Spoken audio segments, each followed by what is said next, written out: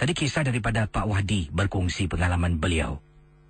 Tahun 1980-an, tanah perkuburan bidadari masih lagi ada. Saya juga pernah ke sana. Pernah juga solat, eh, solat Jumaat di kawasan Masjid Kubur Bidadari. Cantik, eh, macam rumah kampung lah. Memang sekitar kawasan tu kubur-kuburnya yang dah lama. Dan pengalaman Pak Wahdi ni, kenapalah buat kerja macam tu, eh? Yalah malam-malam hari datang, Ya, mungkin Pak Wadi ni single agaknya. Sebab itulah berani melakukan kerja sedemikian. Saya akan teruskan kisah selanjutnya. Apa kata anda tentang kisah Pak Wadi, kisah yang pertama awal tadi? Yang ini kita akan kembali dengan kisah selanjutnya. Kiriman email yang ingin saya bacakan daripada seorang pendengar bernama Putri Anasuya. Uh, katanya Putri Anasuya, pengalaman beliau, kisah yang ingin dikongsi sama.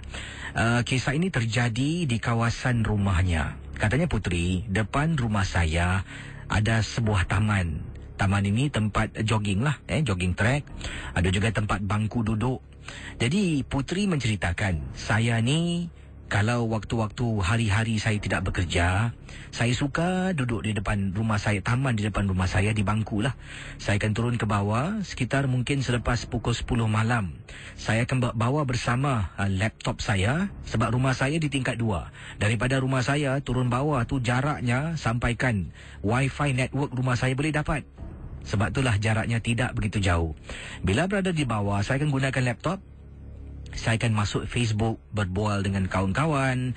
Rasa tenang kisi. Angin pun bertiupan eh uh, sepoi-sepoi bahasa pada malam tersebut. Jadi bila saya duduk ni bermain laptop update Facebook sambil tu saya akan uh, juga mendengar rancangan kisi misteri jam 12. Betul kisi, tapi saya taklah gunakan uh, radio uh, apa ni gunakan speaker radio. Saya gunakan earphone hanya sumbat pada sebelah telinga. Sebelah telinga kiri dengan MD12, sebelah lagi saya biarkan. Takut kisi kadang-kala terdengar sesuatu yang mungkin tidak diundang. Jadi saya akan duduk di sanalah antara pukul 10 lebih malam sampai 12 lebih tengah malam sebelum saya naik ke atas. Kadang-kala bukan seorang, ada juga rakan-rakan yang tinggal di blok berhampiran katanya Putri akan duduk dan lepak dengan saya. Kita akan duduk dekat bangku ataupun duduk di atas lantai saja. Kita akan makan, berbual-bual dan sebagainya. Jadi pada suatu malam kisi, pengalaman yang saya alami ini, kisah yang saya alami ini adalah dari mana saya duduk, di belakang adalah blok rumah saya. Sebelah kanan satu lagi blok. Jadi ada, ada seorang kawan yang tinggal di blok sebelah. Saya nampak kawan saya Kawan saya sedang jalan seorang diri. Dari jauh kisi waktu tu, kisi sedang putarkan lagu. Misteri jam 12 baru nak mula. 12.10 minit tengah malam kalau tak silap saya. Bila nampak kawan sedang jalan nak masuk kolong blok, saya pun panggil. Lis! Lis! Saya sebut Lis beberapa kali. Tapi kawan saya ni tak dengar.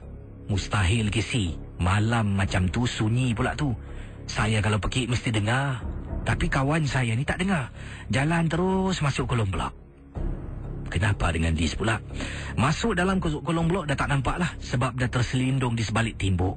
Saya pun keluarkan telefon bimbit. Tengok Facebook, kawan saya tak ada dalam Facebook. Jadi saya keluarkan handphone, saya telefon dia. Telefon tiga empat kali, kawan saya Liz tak jawab. Eh, dia ni mungkin bergaduh tak? Apa saya buat? Pendengar Ria 897. Katanya Putri, saya tutup laptop. Saya pakai selipar sebab saya duduk atas bangku tu bersila. Saya jalan pergi rumah Lis, naik atas tingkat sembilan. Sampai depan rumah Lis ketuk pintu beberapa kali. Assalamualaikum. Assalamualaikum. Pendengar Ria 897. Pintu dibuka oleh Ibu Lis Ibu kepada kawan saya bertanya, "Eh Putri, Putri ada apa Putri?" Ah, cik, Lis ada rumah tak cik? Lis? Lis tak ada rumah. Lis pergi Shelly hari ni kan? Dia tak bilang Putri ke? Apa sih cik? Tak apalah cik eh, terima kasih. Pintu rumah Lis ditutup, saya masih berdiri depan pintu, bulu roma meremang. Tiba-tiba, Casey saya tak buat cerita, tapi saya dengar. Assalamualaikum. Entah datang dari mana, dengar seperti suara orang yang dalam memberi salam. Assalamualaikum. Saya tak jawab salam Kisi. Sebab pernah Kisi beritahu, kalau kita tak tahu siapa yang beri salam, jangan jawab sembarangan. Tengok kiri, tengok kanan, tak nampak orang. Terus pergi dekat lift, turun bawah dan balik ke rumah. Bayangkan Kisi, kerana pengalaman malam tersebut, untuk beberapa hari saya tak duduk bawah seorang-seorang. Sampai ada kawan. Saya ceritakan kisah ini pada Liz. Liz kawan saya sendiri terkejut. Itulah kisah peristiwa pengalaman yang tak dapat dilupakan. Di kawasan estet perumahan saya, iaitu di kawasan Sembawang.